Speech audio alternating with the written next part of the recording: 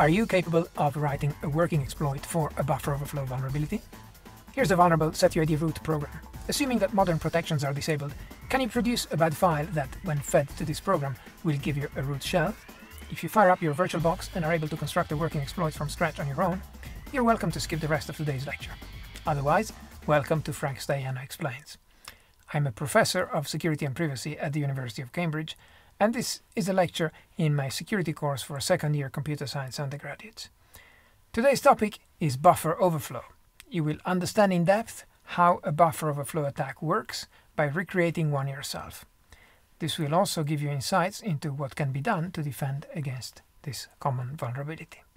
I keep repeating this in lecture after lecture, but stay legal. This is adult stuff, it's not a game. These techniques have been used in attacks that have disabled millions of machines. The Morris worm that brought down the internet in 1988 exploited a buffer overflow. The Stuxnet cyber weapon that destroyed a thousand uranium enrichment centrifuges in Iran in 2009 exploited a buffer overflow. You can cause real damage with the attacks I teach you in this course. And if you did cause any damage to others, it would be pretty bad. I want you to become as competent and as ingenious as the smartest of the bad guys at discovering and exploiting vulnerabilities, so that you can stay ahead of them and defeat them. But please don't become a bad guy yourself, otherwise you will lose my respect, and you might lose a lot more, including possibly your freedom. The buffer overflow is one of the oldest and most frequently exploited vulnerabilities ever, going back to the 1970s. And despite everything we know about it, there has been no shortage of successful buffer overflow attacks every year for the past several decades. C programmers keep making the same mistakes, somehow encouraged by the language itself. In C, a common and seemingly trivial task, such as, for example, concatenating several strings to form a new one, is rather cumbersome and error prone unless you are very careful. And apparently, not every programmer is very careful all of the time. What is buffer overflow? That part is easy to understand. There's a buffer in memory. You write into that buffer some piece of data that's longer than the buffer. C lets you do that. Many other languages would crash with an error at that point because they check whether you are overstepping the bounds of your array. But not C, because that's an extra cost for the check, and C doesn't do any of the extra stuff behind your back. You want to check, you have to do it yourself and pay for it. That's the philosophy of C. And historically, many official C library functions like gets and strucopy have copied stuff into buffers without any checks of length. And that's appropriate when you know exactly what you're copying into the buffer and how big it is because it's data you created yourself. But it's not appropriate when you're copying an unknown piece of data supplied from the unknown user of your program, which could be anything and could be arbitrarily long. But of course, programmers say, mm, let me just get this to work and I'll insert a check later. Yeah, right. And we know how that works out. Anyway, if you spill over the edge of your buffer, where do your extra bytes go? What do they overwrite? Well, who knows? It depends what else lives in memory near there. If there's another variable next to the buffer, you might overwrite that variable if it's on the right. But you can't tell from the C source code. If you declare a variable A and then a variable B, then the compiler is not contractually obliged to allocate them next to each other in memory in that order. It could rearrange the order. It could insert gaps between them. There are choices that the compiler is free to make on its own. We could have a look and check experimentally. I have actually recorded myself doing all this stuff for real from first principles, including mistakes, all the way to the actual exploits. And, and this is now a detailed tutorial, but it's too long for a lecture, so I'm going to make it available as an optional video for anyone who might need help if they get stuck while doing the work by themselves. It's not officially part of the lecture course, it's just a bonus, a special gift from me, and if you do your seed lab on your own without trouble, then that's fine, and you don't need to watch me doing it as well. On the other hand, if all this is really alien and difficult for you and you feel you need a bit more hand holding, then be my guest and make good use of that other more chatty and leisurely video where you get to see exactly what I do. The video you're watching now is the official lecture, so I'm going to keep it a bit tighter. Play this game however you like, provided that by the end of it you are able to exploit a vulnerable program yourself. This is a skill you can only acquire by putting in many hours of practice. Especially in the debugging phase. The first thing I show you is that by writing an overlong value into a variable, you may overwrite another variable. Also that the order of the variables in the source code is not indicative of the order that they appear in memory, and even that that order might change depending on the compiler options that we use.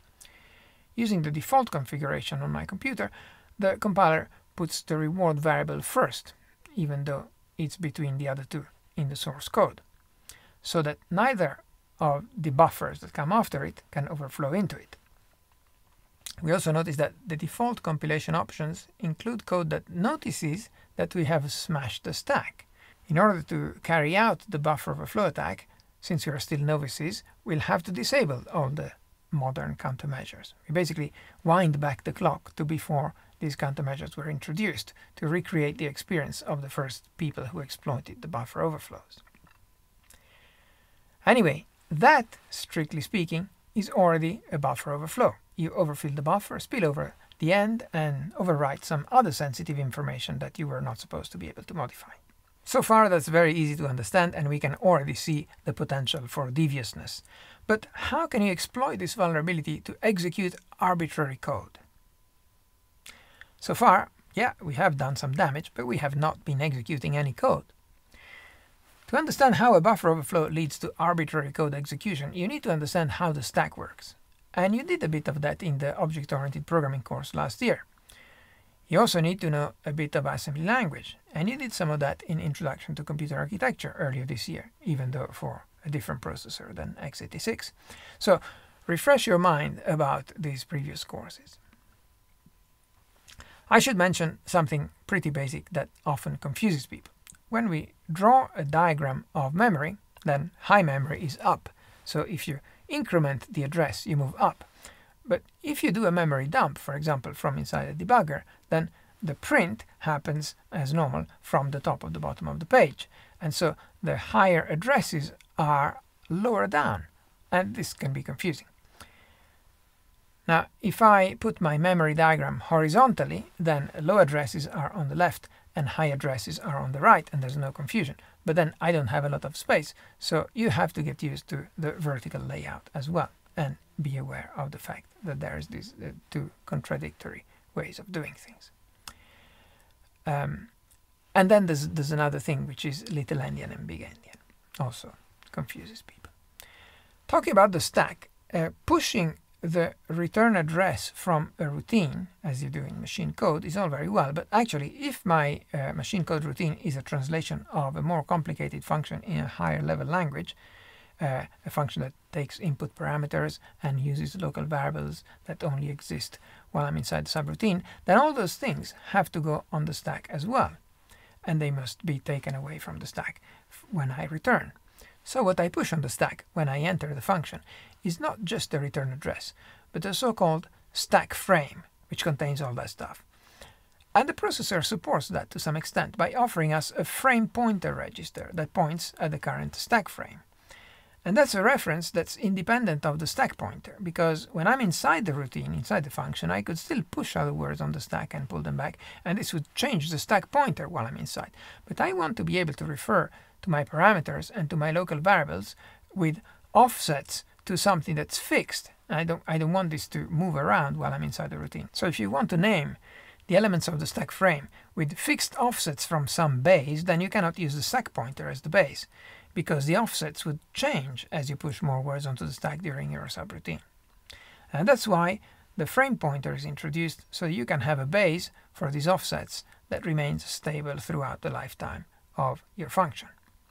Now, where exactly you put stuff within the stack frame is a matter of convention, but what is done in x86 32 is the following. First, we push the parameters of the routine one by one in reverse order. In reverse order so that when we read things in memory, then the first thing we encounter is the first parameter, then the second. And after the parameters, we push the return address, place where we get to, where, where we get back to after the routine is finished. And then we push the previous frame pointer to save it somewhere because we are about to overwrite it so that it now points to the current frame, the one that we are building. We overwrite the frame pointer with a stack pointer, which right now points at the bottom of the part of the stack frame we built so far, which is exactly where the previous frame pointer has been stored. And then the routine makes space for its own local variables below that, so that these reside at a negative offset from the frame point. As we said, every element of the stack frame is described as offsets from the frame point. At offset 0 we have the origin of the current stack frame and in that word we find the previous frame pointer. One word up from that at offset plus 4 bytes or one word is the return address. One more 32-bit word up from that at offset plus 8 bytes, that's the beginning of the parameters, the first parameter, then the second, and so forth. At negative offsets from the frame pointer, we have instead the local variables of the routine. So for example, if I have a 23 character buffer in function f2, it will be at some negative offset from the frame pointer. And so will the other variable g. We can check, and I do that in the full tutorial. Now, this buffer, if I write enough bytes into it, at some point I will exceed its length, and eventually I'll overwrite the stuff at positive offsets from the frame pointer, namely the old frame pointer, and crucially the return address, and then possibly also the subroutines parameters, although that's a lot less serious than overwriting the return address. Now, the very moment the attacker overwrites the return address, that's a bit of an anticlimax, because nothing really happens. The processor doesn't bat an eyelash, it's just writing into some address in memory. Fine, it does that all the time. Trouble comes, however, when the processor gets to the end of the subroutine, possibly after having executed other instructions, and encounters the return instruction. The behavior of the return instruction, as we said, is to pop the top of the stack into the program counter, or instruction pointer, whatever it's called. Uh, and this causes execution to resume from that address. But now I, the attacker, have written a new address into that word so that I can cause the processor to resume execution from wherever I like, including a place that contains machine code bytes that I have just supplied. I, the attacker, didn't write the program that's being attacked. This is a vulnerable program that someone else wrote and that has a buffer overflow.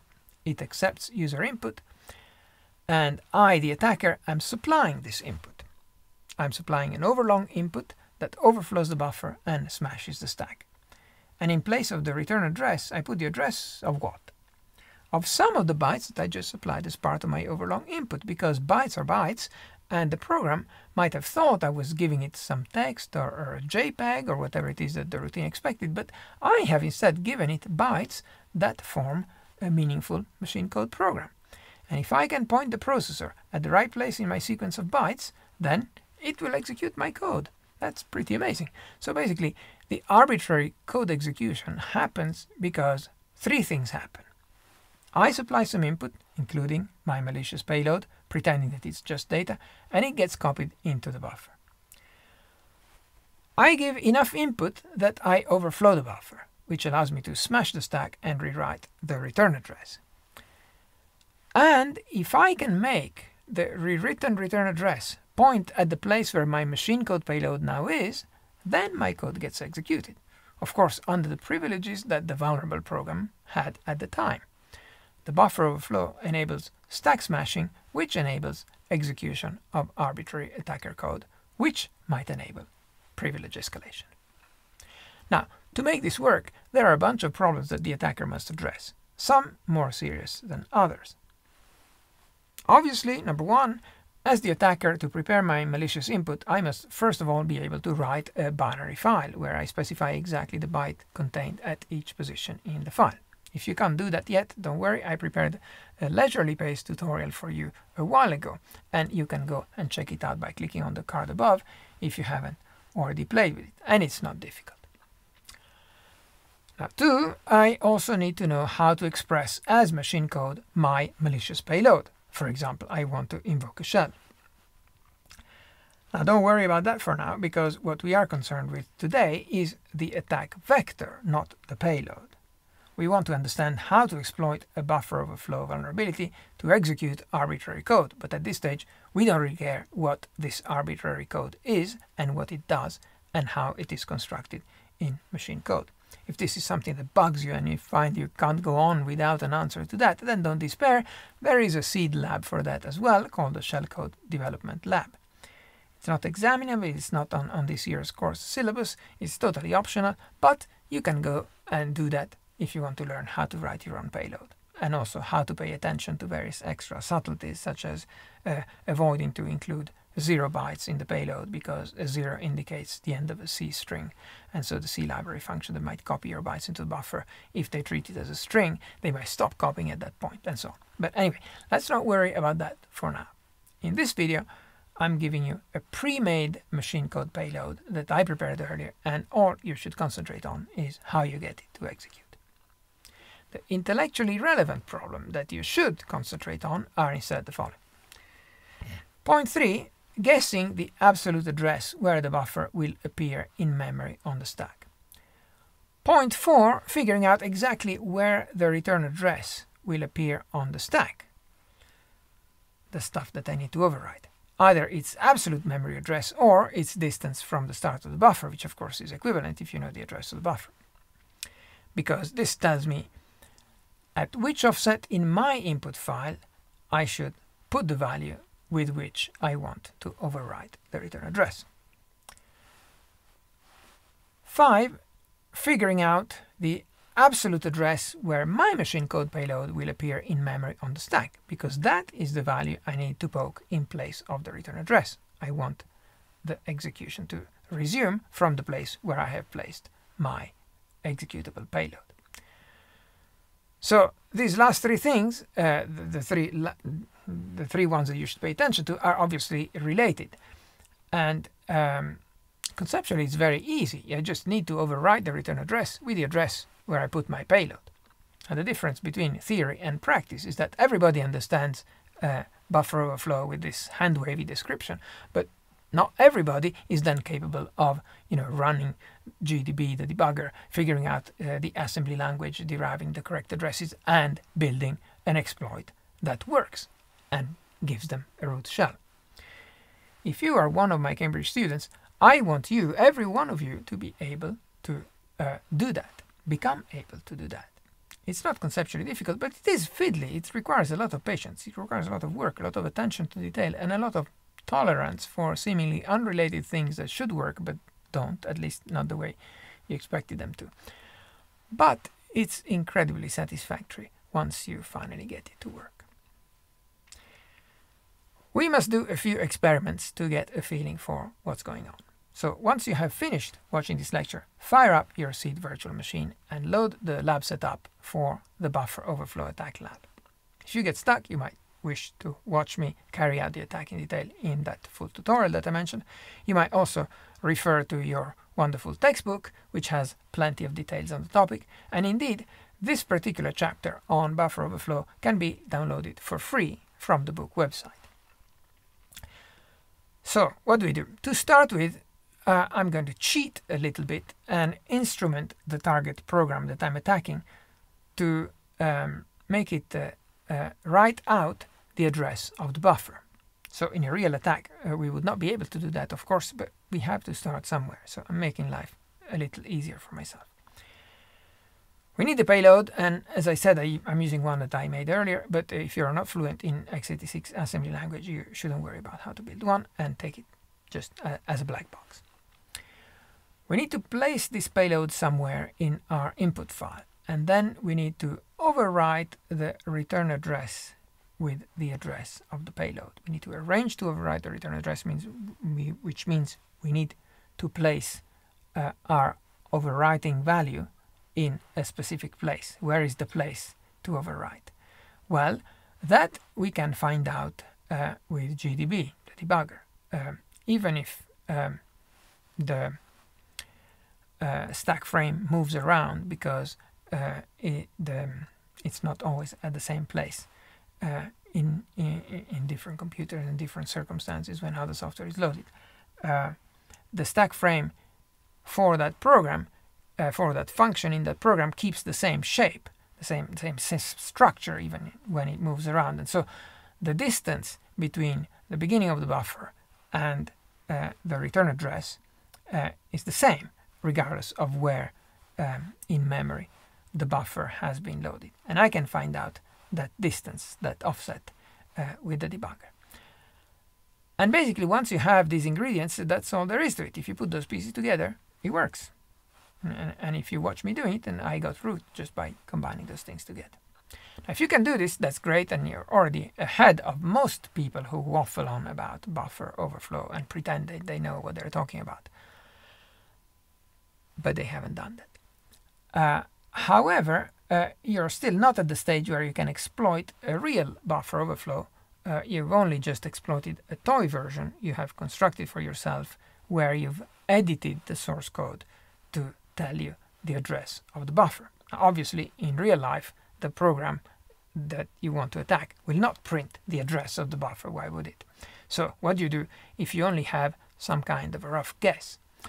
Well, I'm going to show you a trick where the same attack file will work for a range of addresses without changing a single byte in your attack file. Because otherwise you'd have, for every address in the range, you'd have to prepare a different file uh, because that file would have to have uh, a different address written for the place to jump to to get uh, to your payload uh, to be executed. So the technique uh, that we're going to use is called uh, NOP sled. And let me show you graphically what this is about. This is my memory over here.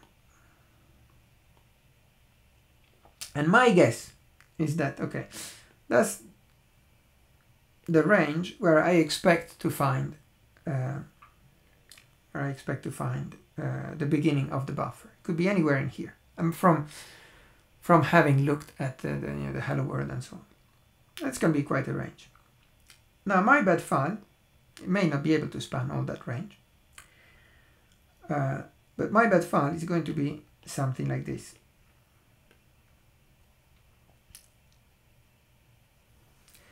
And my bad file is going to have this return address here. And then here is going to have an op sled, nop sled.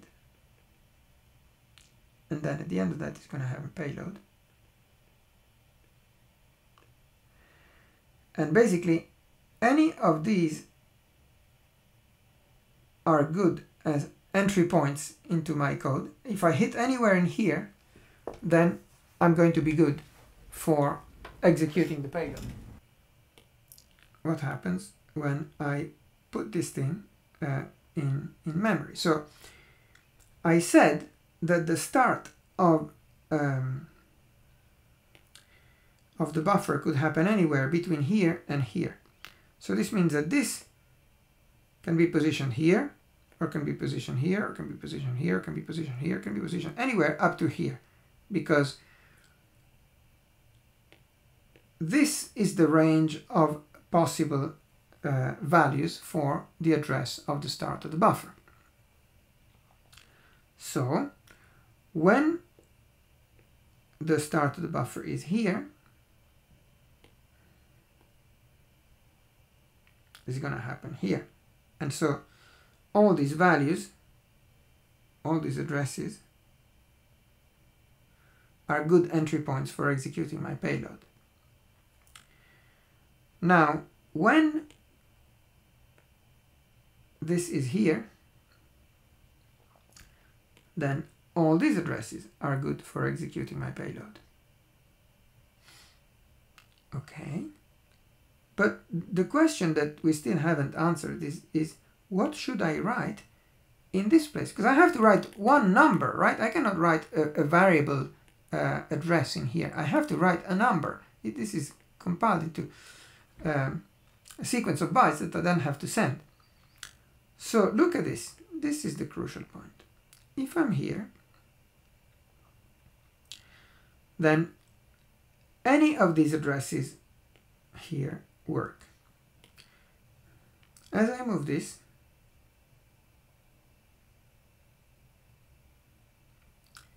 what happens? Is there an address that works for uh, triggering my payload in all of these cases. I want an address that always works whether the beginning of my, my NOP sled is at the bottom of the red squiggle or anywhere in the red squiggle or the top of the red squiggle. Now obviously I can't have any more range than the length of my knob sled, that's obvious. But I want something that will work in all these cases. And that something is, with a moment's thought, this. Uh, which is the address of the payload itself when uh, when my um, my buffer is in the lowest position because in here it just runs the payload itself without doing any knobs and in the extreme position up here it runs through uh, the whole knob sled and then it runs my payload and anything that's intermediate then if I hit uh, this address then it runs a bit of the knob sled and then my payload. So that is the optimal optimal thing that I can do. If I assume that my uh, my bed file is positioned in the lowest place where it could be, then the address I should put in here is the address where my payload is. And then if it really is in that position, then um, no part of the knob sled will be executed. And the further up it is, uh, more of the knob sled will be run if I hit that point before going to the payload. And my extreme of that range is over here where uh, I run through the whole knob sled before doing the payload. So so what address should you write instead of the return address? This is the crucial point and something that many people understand only superficially, even among those relatively few who can actually do the attacks. The script kiddies get away with just aiming somewhere in the middle of the knob sled, but I want you to understand exactly what is happening and what the boundaries of what you can do are. You must use an address that will lead to execution of the payload, whether the buffer ended up at the bottom or at the top of your allowed range of addresses. Okay, your, your file covers a range of possible addresses and each of these uh, addresses where, um, where the buffer could be loaded must result in execution of your payload. Now when the buffer is at the lowest address in your range, then your fixed address will point just past the end of the sled directly at the payload. When the buffer is at the top of its range, your fixed address will point at the beginning of the sled.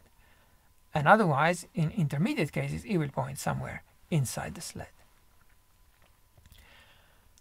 Now, uh, you could imagine making a sled that's super long so it covers all possible cases even if your guess was not very good. In practice, you can't always make your input arbitrarily long. In, in the case of the challenge program that uh, we've been using uh, it only reads up to 600 characters from your input file, for example. So if your guess was wrong uh, and you didn't catch um, the, the real address where the buffer was loaded within the ones of the range that you that you programmed for, then you'll have to try again from another starting point and then uh, move around your range so that you cover all the places where the buffer could have been. But still, that's many fewer tries than without uh, the technique of the knob sled, where you would have had to try every address individually.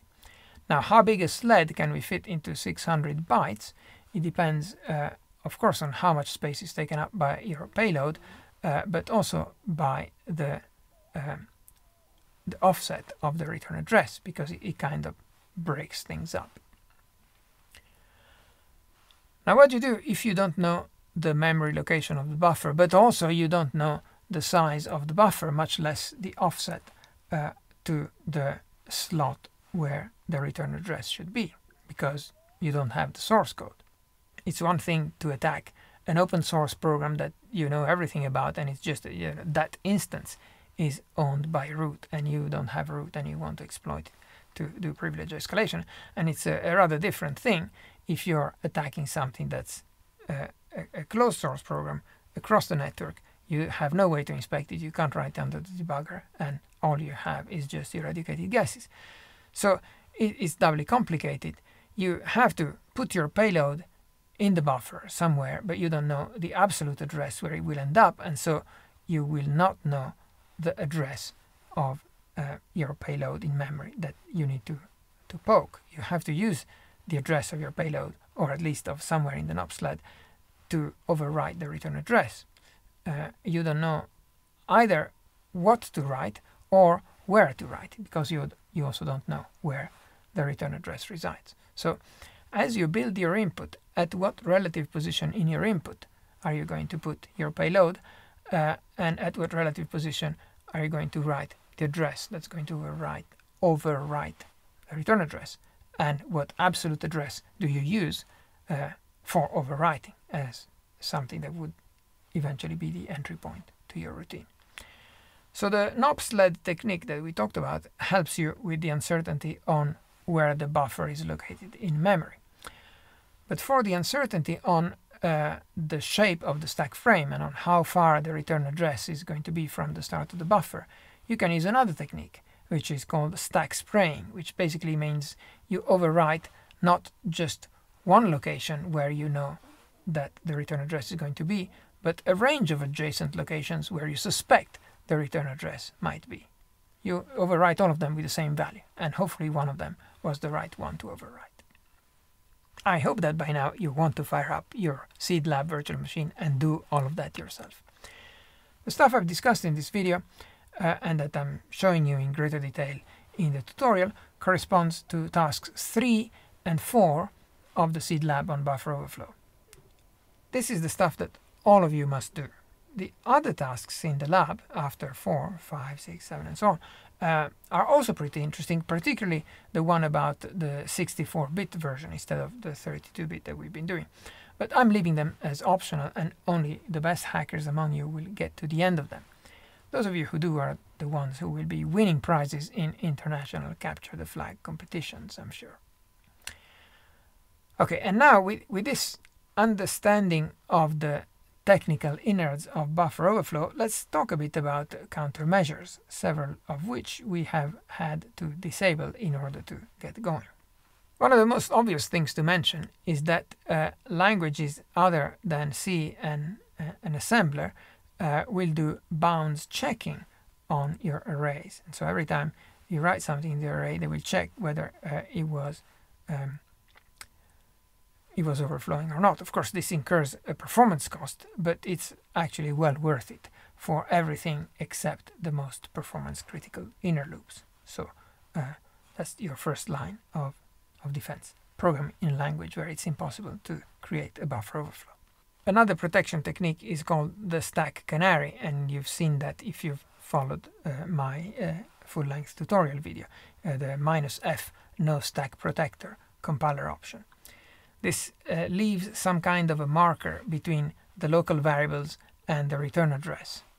This technique consists of leaving some secret marker between the local variables at negative offsets and the return address at positive offset so that when you uh, overwrite the return address you have also overwritten this marker and before the function returns uh, you would check if the marker is still there and of course this uh, incurs a small space and time penalty uh, for every function call.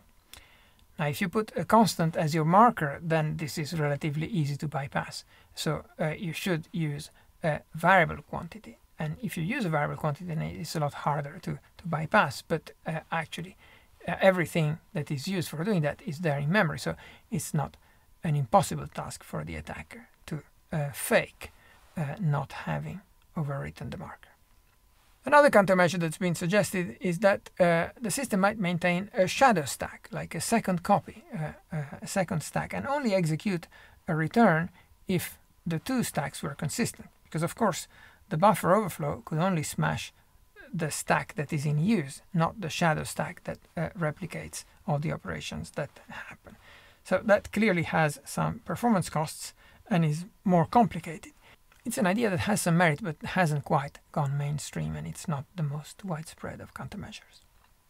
Another countermeasure is ASLR, address space layout uh, randomization, and this consists, as the name suggests, of randomly allocating the starting positions of the code segment, the stack segment, the heap segment, and the libraries.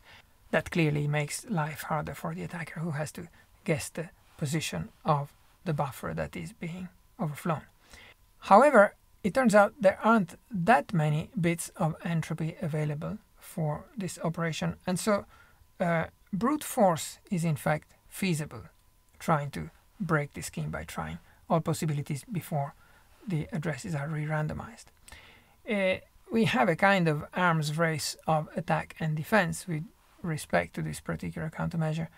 And uh, for example, another thing that's been suggested is that um, the operating system might uh, enforce a delay after uh, a certain uh, executable has crashed a number of times before it can run again. And so this would uh, make brute force no longer feasible. However, the next zigzag in this uh, attack and defense chain uh, is that it turns out that uh, these protected addresses might leak through side channel attacks, which would of course defeat the scheme. As a glimpse into the future, a radical new approach to eliminate buffer overflows and other memory safety violations is CHERI, Capability Hardware Enhanced RISC Instructions, an ongoing research project originated here at Cambridge by my security group colleague Robert Watson and led by him with Simon Moore and Peter Sewell, also from Cambridge, and Peter Neumann at SRI International. Professor Simon Moore, who is a co-PI of this project, uh, has shown you some slides about it in the computer architecture course. CHERI rethinks software security from the ground up, from the processor hardware to the compiler tool chain to the system software. The core idea here is capabilities implemented as pointers augmented with validity bounds and other security metadata. The security metadata is unconditionally checked by the hardware at every access with negligible runtime overheads. This approach allows the system to run a Unix-like OS called CheriBSD and to offer memory safety to C and C++ programs, mitigating a large fraction of the major vulnerabilities that have affected other current systems. The purposeful co-design of hardware, software and semantics allows formal modeling of the architecture and the development of more extensive security proofs than would be possible in mainstream systems. The project has attracted many collaborators and well over $100 million of government and industry funding. It's not in the shops yet, but it's making its way up through the technology readiness levels. ARM has built a hardware prototype, the Morello board, where the CHERI architecture is built into an ARM processor. This board, which first shipped in January 2022, is currently being distributed to academic and industrial partners for experimentation. I'll stop here, otherwise this will start to sound like an advertisement rather than a lecture course, but check out the CHERI web pages and research papers. This stuff is going to be big. And another countermeasure we encountered and had to disable to carry out our attack is to make the stack not executable. It's a recurring theme in this course that many security attacks ultimately consist of disguising malicious code as data. And therefore, it's very good when we can categorically say this is data, don't ever treat it as code. There's even processor support for marking the stack segment as not executable. So this sound sounds like it's a, it's a great final solution. But actually, if attackers smash the stack and rewrite the return address, they are basically writing the second part of some kind of jump instruction, actually the return instruction, and the first part, the fact that there is a jump, is something that nobody can take away. So you can't actually prevent the attackers from jumping somewhere else, even by disabling uh, execution of code on the stack.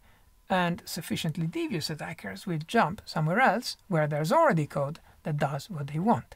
To find out how that's done, watch the next video in this series about the return to libc attack. With buffer overflow, we are really doing the moral equivalent of studying the classics of our discipline. To my students at Cambridge, I want each of you to be able to compute the addresses and offsets that lead to a working attack on a vulnerable, uh, vulnerable program. Bring up your CVM, complete the at least the tasks 3 and 4. You get no marks for doing any of this, so don't search for solutions online because you're not cheating me. You're only cheating yourself out of an education. You will never learn anything as well as when you finally get it going on your own after hours, after all-nighters of banging your head against the wall. My detailed tutorial video may be useful if you get stuck. Otherwise, consult with the supervisors, but don't expect that they will be debugging your failed attempts.